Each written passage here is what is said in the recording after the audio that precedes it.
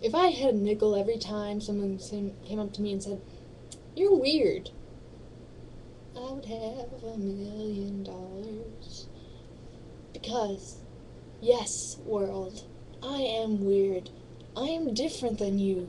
I don't fit in with your normal flow of things in this world. I am different.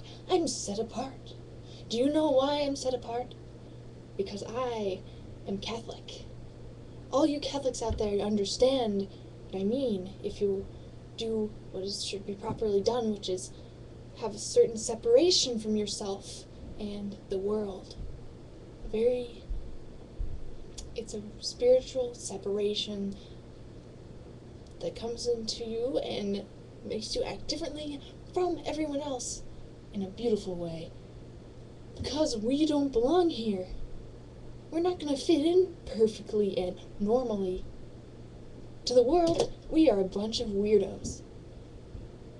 Embrace your weirdness because Catholics are set apart from here, and I would hate to be normal and fit in with this worldliness.